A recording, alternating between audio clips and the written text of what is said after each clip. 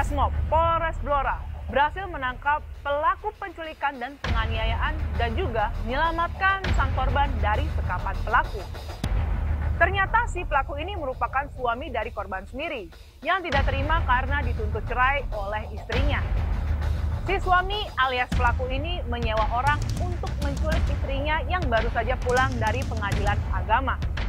Dah paling bener nih keputusan si istri mau nyerahin suami. Bukannya jadi pemimpin keluarga, malah jadi kriminal. Mending kita lihat bareng-bareng gimana perangai sang suami.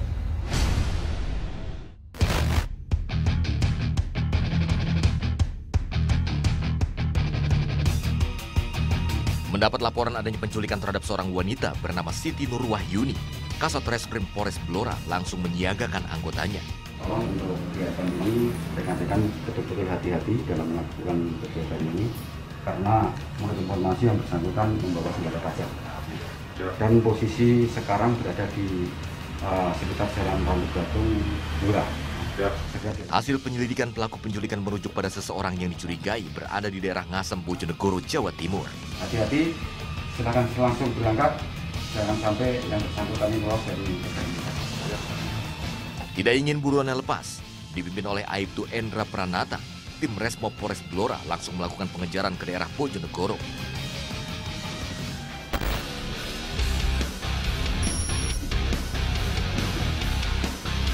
Dari informasi yang dihimpun petugas, orang yang dicurigai tersebut berada di sebuah warung di desa Ngasem. Ya, jadi gini, kita mendapatkan informasi uh, bahwasannya salah satu tersangka berada di daerah Ngasem di warung. Nah, kita menuju ke sana, kita akan melaksanakan penangkapan.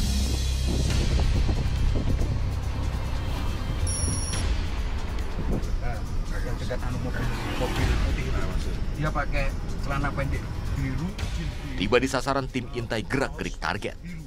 Dapati buruannya sedang asik nongkrong di warung. Tanpa menunggu lama, petugas melakukan penyergapan.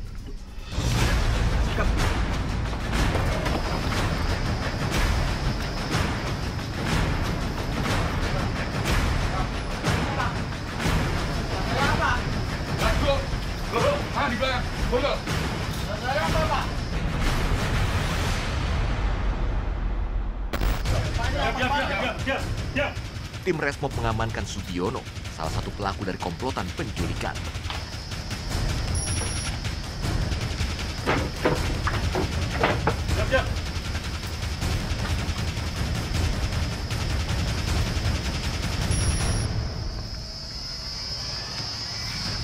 Polisi menduga pelaku ini berkomplotan dengan pelaku lainnya untuk melancarkan aksi penculikan. Untuk memastikan keberadaan pelaku lain, polisi langsung menginterogasinya agar pelaku lain dapat dengan mudah dibekuk. Betul.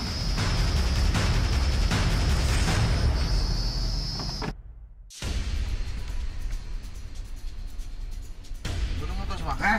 Betul ngutus. Gue rak, gue aku. Belum betul nopo-nopo, Pak. Woi, kita ngomongin sing penak. Ah, kula mau- Kerja apa? Sek, kowe lek kejadian iki ora? Nopo ya, Pak? Eh, Nopo? kowe pertama nyusun rencana nyulik. Boten Eh, ya, Pak? eh, Boten. Wes ngomong ae, Bi. Ya, ngomong. Kowe kancamu sapa wae? Kowe ngakuni ra salahmu apa? Eh? Mau awan? Mau awan kowe ning ndi? Nah, kowe ngerti salahmu saiki? Kowe nyulik wong. Supire mbok aniaya. Ya ora? Boten kula, Pak. Kula boten niku kok. Saiki sapa? Kancamu sapa wae? Kendati sempat melawan dan membantah tuduhan petugas, tersangka Subiono akhirnya mengakui perbuatannya setelah ditunjukkan beberapa barang bukti dan informasi. Omek gitu ngerti apa ora gitu? Apa gitu biasanya ning ndi? makanya nomornya mana? Kula ngetos segitu sarane. Nah, iki sandine apa aku? Lanjutnya 1 2 3 6. Oh ya, Ampun, Pak. iki ngerti posisi nomornya. Iki kita ya, Nggih. ngerti posisinya. Nggih, Pak. Ya, saya pecah. Jak kerja sama saya. Nggih, Pak. Tolong ya. Ampun kula, Pak. Yo. Mohon ampun aku. Ya, wes, pokoknya kayak ngerti ya, gue ya, aku doke ya. Nah, bantu kene ya mas ya. Nggih, Pak. Kita udah ngamankan satu pelaku yang bernama Subianto. Dia perannya sebagai eksekutor. Jadi dia yang di lapangan eh, dia tadi yang langsung dia bawa mobil terus dia menyulik orang itu. Terus dari keterangan hasil keterangan yang kita gali eh, dia menyebut nama Gito. Nah Gito ini keberadaannya udah tahu. Jadi dia juga sedang berada di warung em, warung minuman. Jadi dia sedang minum sedang minum minuman keras dia. Nah rencana kita menuju ke sana kita akan melakukan penangkapannya Tersangka Subiono mengaku hanya disewa oleh Ahmad atau Muhammad Supriyadi yang tidak lain adalah suami dari korban. Dirinya diperintahkan menculik bersama lima orang kawannya. Dalam pengembangan, pelaku diinterogasi di dalam kendaraan. Gini iki lurus terus, mungkin kiri jalan. Stop, kiri jalan, saya coba lagi. Nggih, orang sekedap nih kira. Di, barang ini, barang ini. Di, di, di, di, di. Gini iki kan. Terus, terus, terus, terus, terus, terus. Mas, Oke. mas. Di, di, di. Begitu mendapat informasi identitas para pelaku lainnya, petugas bergegas kejar kawanan penculik. Iku nih Pak, kasih kuning. Mas kuning ya? Gini, Udah, Mas yakin kuning. yakin ya? Yakin ya? Gini ikut yang cilik ini Pak. Efek.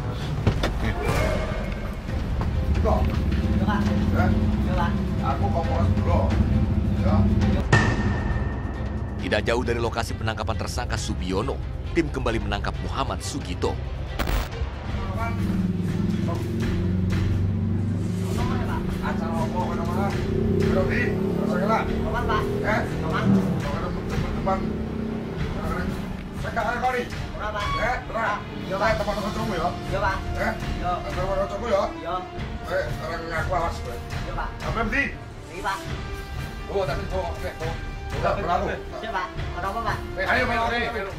Meski sempat mengelak dan tidak mengakui aksinya, tersangka Sugito hanya pasrah setelah dipertemukan dengan tersangka Subiono. Kayak sopo? Kocokmu bra. Iya Pak. Ngaku nih bra. Ini bener. Bener. Kita ini bener ya. Kita ya, melu ya gini ya. Bener ya. Nah, rasanya lah ya. Iya Pak. Menurut aku. melu aku.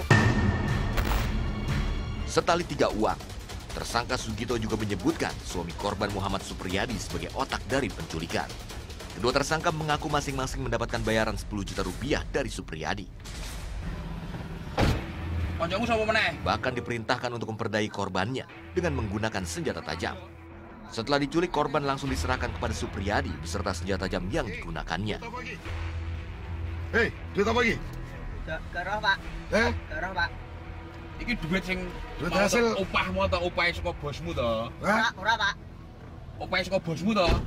eh, gak gelem ngomong. Iya Pak. Nah, ngomong to. Ngomong. Ih, duit iki ya berarti. Iya Pak. Ya. Iya.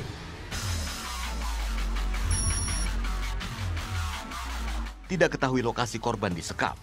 Polisi mendapat informasi dari kakak keponakan Supriyadi mengenai posisi otak penculikan ini. Aku cuk tulo kerja samane ya. Informasi keponakan Supriyadi valid. Tersangka Supriyadi menyekap sang istri di sebuah gubuk di pematangan sawah.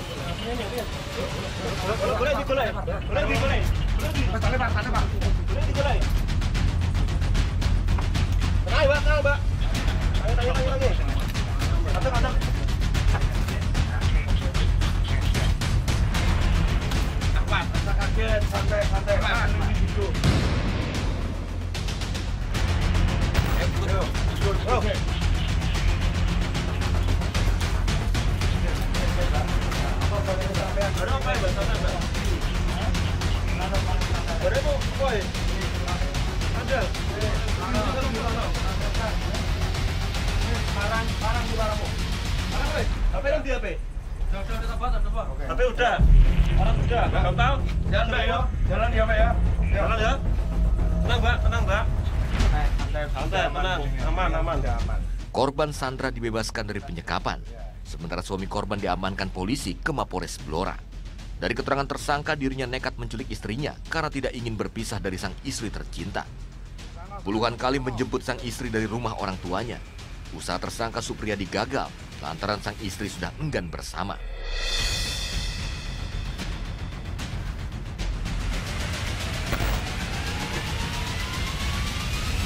Tujuannya apa, Mat?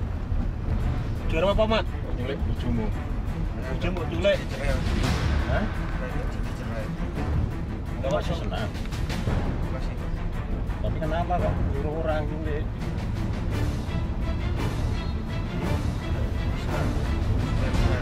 sama saya pak Hmm? Itu waras ora? Itu bojom. Bojom malah mbok culik dhewe. Sekap dhewe. Iku waras ora? Cara mau jogo ngono nek seneng. Dari hasil penyidikan, para pelaku tidak hanya melakukan penculikan. Para pelaku juga melakukan pengeroyokan dan ancaman terhadap orang tua korban yang berada di dalam mobil. Tersangka Supriyadi nekat menyewa lima orang temannya untuk menculik sang istri dengan upah 50 juta rupiah. Tujuanmu apa gawa? Golok.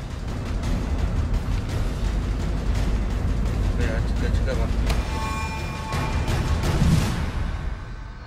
berawal dari kejadian pada saat korban bernama Siti Nurwahyuni Eti Lestari itu menghadiri sidang perceraian di Pengadilan Agama Blora. Kemudian setelah keluar dari ruang sidang, eh, korban bersama orang tuanya dengan menggunakan eh, satu minibus ya kendaraan roda empat eh, dicegat oleh beberapa tersangka, lima orang tersangka yang inisialnya sudah disampaikan dicegat kemudian diambil upaya paksa untuk ikut eh, serta lima orang tersangka ini. Ya, nah, pada saat proses penarikan itu ada upaya pemukulan kemudian di, sempat supaya korban ini lepas dari orang tuanya kemudian berhasil dibawa dan eh, dibawa ke mobil tersangka menuju ke Blatung. Ya, sesampai di Randu Blatung, suaminya eh, atas nama Muhammad Supriyadi ini sudah menunggu. eh, kemudian setelah suaminya tiba, ketemu, suaminya ikut di kendaraan, kemudian mereka mengarah ke Bojonegoro. Pada saat penarikan atau perebutan korban ini dari orang tuanya, nah, kemudian setelah berhasil dibawa sama tersangka, orang tuanya melapor ke Polsek Banjarjo. Kemudian oleh Polsek Banjarjo berkoordinasi dengan Polres, Satreskrim, kemudian di, eh, kita cek lokasi dan sebagainya, kemudian kita lakukan pengejaran dan alhamdulillah di sampai Bojonegoro kita berhasil tangkap ya, eh, tersangka dan eh, apa namanya termasuk suaminya. Untuk pasal yang diterapkan eh, ancaman hukuman yaitu pasal 328 KUHP pendidikan ancamannya 12 tahun, kemudian pasal 170 atau mengeroyokkan itu ancamannya 6 tahun karena ada upaya eh, apa namanya memukul dan eh, kekerasan terhadap korban.